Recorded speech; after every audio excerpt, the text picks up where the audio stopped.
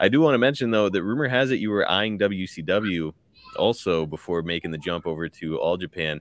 And Meltzer reported that prior to your deal with Japan, you attempted to get a $250,000 a year deal done with WCW. Is there any truth to that, or is somebody telling Meltzer stories? Uh, that there, there may be truth to that.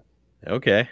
I mean, yeah, because if I'm gonna, you know, if I'm gonna go to work for another company, you know, I'm not, I'm not, you know, I'm not gonna, I'm not gonna leave the deal. I, you know, I mean, obviously with Vince, I wasn't on a guarantee, but the deal in J- the Japan deal was that was a guarantee. I mean, it's like you know, I was making a thousand dollars a night, so if I'm going on a five week tour, how much is that? That's an awful lot of money. yeah.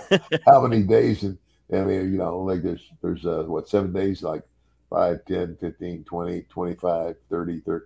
That's 35 grand. Whew. A five week tour would be, you know, 35 days.